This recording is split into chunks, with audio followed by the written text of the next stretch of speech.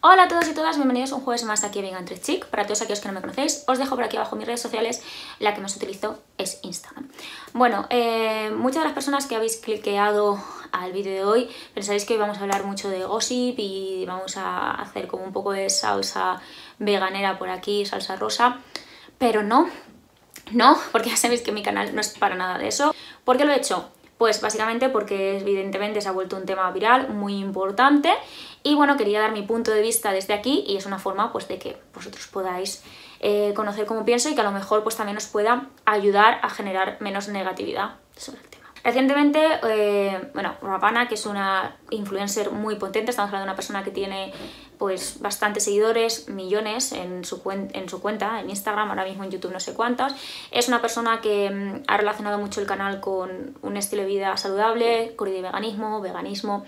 Entonces, claro, recientemente ha sacado un vídeo en el que confirma que efectivamente ha dejado de ser vegana. Y eso ha hecho mucho revuelo, mucha gente que ha generado negatividad, em, muchos ataques también personales a ella por temas de salud. Eh, no voy a, como digo, decir en este vídeo eh, si me parece bien o mal que una persona decida dejar de ser vegana o no dejar de ser vegana. Cada persona tiene una forma de, actuar.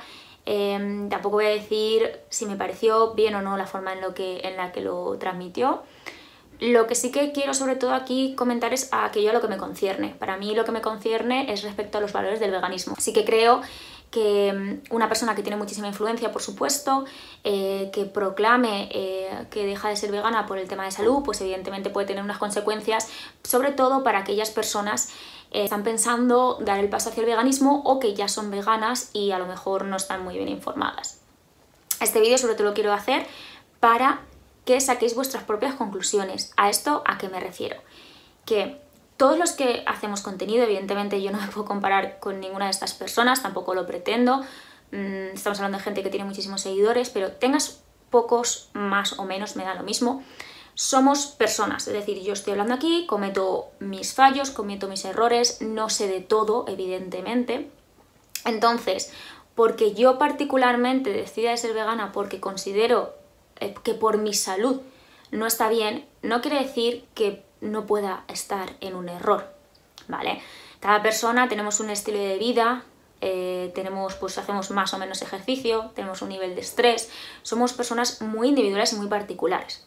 Eso no quiere decir que simplemente porque yo deje de ser vegana, el veganismo está mal o no puede ser vegana y tener salud. Eso no es cierto. Entonces es algo que yo quería comentar sobre todo aquí.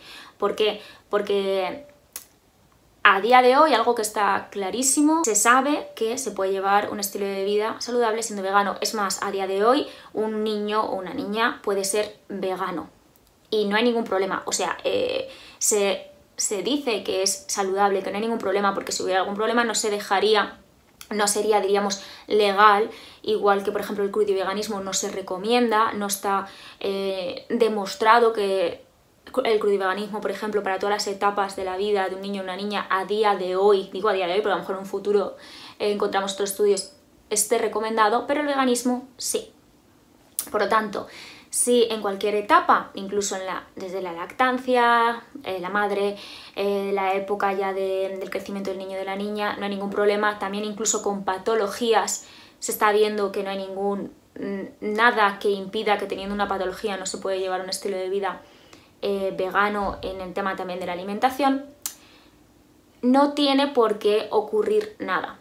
Esto a lo que me refiero es que que saquéis siempre vuestras propias conclusiones. Incluso si yo ahora mismo os estoy diciendo esto, lo que tenéis que hacer es no solamente fiaros ciegamente de mí, sino también buscar información de todo esto que os estoy comentando, mirar si es cierto lo que os digo. Yo intento en cada vídeo eh, dejaros información en la cajita de descripción para que vosotros podáis comprobar por vosotros mismos y mismas un poquito más, ¿de acuerdo? Pero eh, mi consejo desde aquí, y por lo que quería hacer el vídeo, es esto, que cada persona tiene una situación personal y cada persona toma sus propias decisiones. Y porque alguien diga que por salud ha dejado de ser vegana, no quiere decir que no sea saludable ser vegana, porque habría que ver efectivamente todo lo que esa persona está haciendo para que en ese momento vuelva otra vez a consumir, por ejemplo, pescado o vuelva a consumir huevos, ¿vale? Entonces, sobre todo lo quería hacer por eso, porque bueno, a mí recientemente pues también me chocó. Es algo que estoy segura que va a salir muchísima más gente hablando sobre ello. Espero que no se genere la verdad negatividad, porque creo que lo que no ayuda absolutamente nada, y eso es así, es criticar a alguien, lo haya hecho mejor o peor. Eh, hay que tener mucho cuidado con las palabras, ¿vale? Porque igualmente hay una persona detrás. Y tampoco dejarnos llevar simplemente porque una persona toma una decisión en su vida porque bueno, ahora mm, van a salir también muchísima más gente hablando, nutricionistas, médicos, así que no os preocupéis porque va a salir mucha más información y podréis comprobar que efectivamente lo que digo es así. Entonces, como a día de hoy no hay ningún factor que confirme que efectivamente tengamos que acudir ni al pescado ni a los huevos, no os dejéis llevar simplemente porque por una decisión personal de una persona que puede haber sido, pues evidentemente también sesgada por muchísimas cosas que le hayan pasado en la vida. Y eso no quiere decir que tenga nada en contra ¿eh? de, entonces, mm, no tengo ninguna crítica al respecto en ese sentido, ¿vale? Entonces nada, em, espero eso, si tenéis alguna duda o lo que sea me lo podéis decir aquí abajo, que por favor todos los que por lo menos me seguís que eh, tengáis el respeto de pensarlo varias veces, de intentar, de ver que no tiene ningún sentido hacer una crítica a la otra persona mm, en el mal sentido y también saquéis siempre vuestras propias conclusiones porque si no, si no hacéis eso vais a ser muy vulnerables a toda la información que tenéis alrededor, tanto de personas que mm, os pueden influenciar, como se lleva ahora tanto el término de influencer, como por, por el marketing per se, que es todo lo que nos engloba.